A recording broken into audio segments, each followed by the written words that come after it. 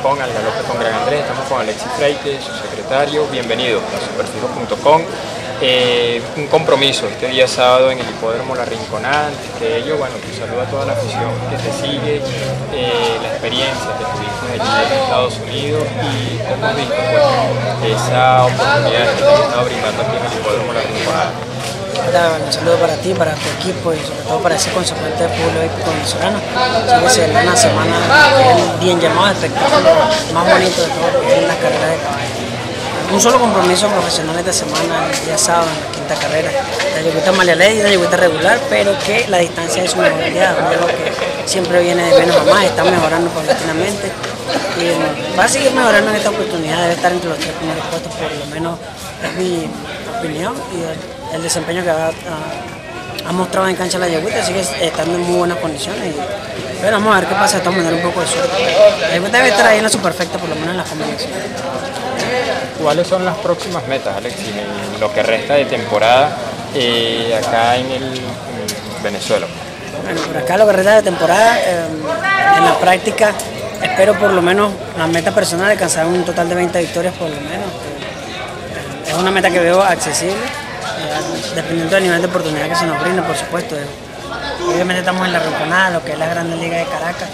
Eh, el nivel de competencia es bastante fuerte, como en cualquier circuito.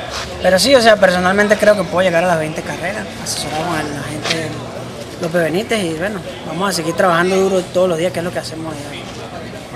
Bueno, López, bienvenido pues, a superfijo.com, eh, el agente selectivo de Alexis Freite. Cuéntanos acerca de esa labor, de lo que tiene que hacer un agente en el día a día para conseguir las montas, para lograr pues tener una opción ganadora y el trabajo que está desempeñando en el hipódromo La Rinconada. Bueno, por ahora eh, se nos ha hecho bastante difícil, ya que Alexis se ha ido adaptando poco a poco al medio y de ahora en el partido de adelante ahorita él debe conseguir mejores montas ya que se ha estado más en medio, ya que los entrenadores han conversado con él, pero ha estado bastante difícil cosa con, lo que es conseguir las montas porque no es fácil. Hay muchos jinetes acá, demasiado. Quizás muchos entrenadores en muchas oportunidades nos dicen que hay más, más jockey que caballos y entonces se nos, se hace difícil pues.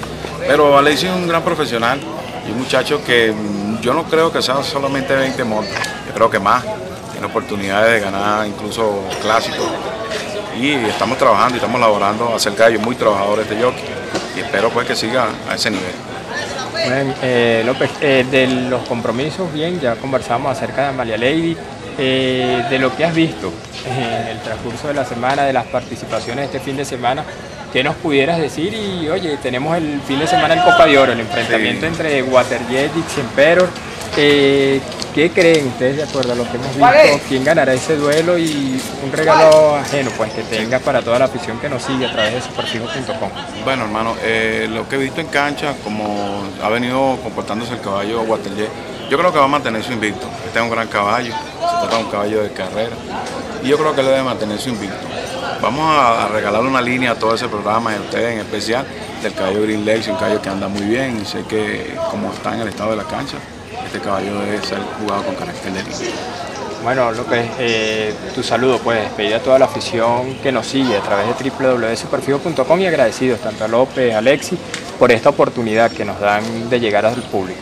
Bueno, agradecido por esta entrevista a ti y esperamos pues estamos a su, a su entera disposición, hermano.